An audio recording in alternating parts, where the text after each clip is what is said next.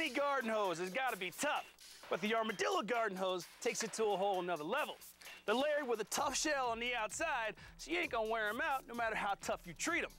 At their headquarters in Colorado, they make them and subject them to plenty of abuse, including dogs, bricks, and fire. Oh my. You probably don't think much about your garden hose, but know this. Four. Some are tougher than others. And here we go for the grand finale. The Armadillo hose is built to be the strongest in the world. It's a, a durable, heavy-duty water hose that's you know, utilized in multiple applications. The Armadillo hose is made with a galvanized steel shell on the outside and a drink-safe hose on the inside. Now, if you're thinking a hose covered in steel will get hot and melt in the sun, forget it, because we set one on fire. That actually was a bonus. We weren't looking to manufacture a fireproof hose necessarily. The helical design of the steel actually helps to distribute the heat, so even on a hot day, the Armadillo hose stays cool. Uh, you basically would see that you can still pick up the hose and, without any problems, and it's just a, a warm hose that probably gets up to about 105 to 110 degrees Fahrenheit. Possibly best of all, it's kink-proof. When other garden hoses get all knotted and cut off water flow, the Armadillo just rolls out.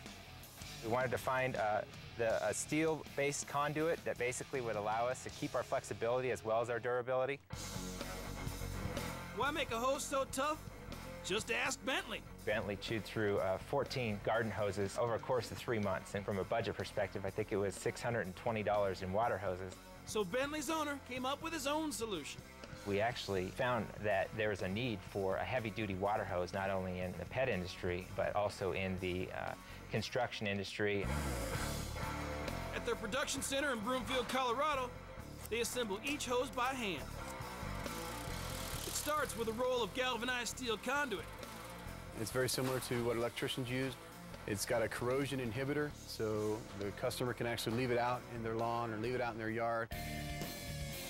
Once cut to size, the interior hose is inserted. Our hose is actually made of a non-toxic PVC. It's reinforced with a nylon braid, so it's strong up to 200 PSI, but it's also FDA grade, so it's approved for drinking. If you didn't know it already, you're not supposed to drink from a regular garden hose. We pay a little bit extra to manufacture the product, but that's because we want to produce a safe product. The last step in the process is adding a foam rubber grip and coupling the interior hose to the conduit. There are teeth on the coupling that adhere to the hose, and so it creates an extra firm grip on the hose itself and also keeps the conduit snug. Each hose is then wrapped and shipped out.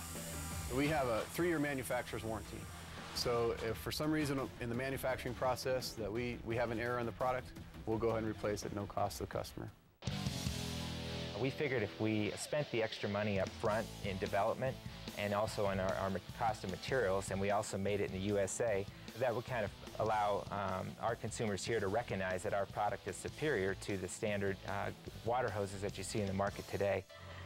Armadillo hoses are strong, tough, cool under fire, kink-proof, and chew-proof. And most of the credit goes to a dog.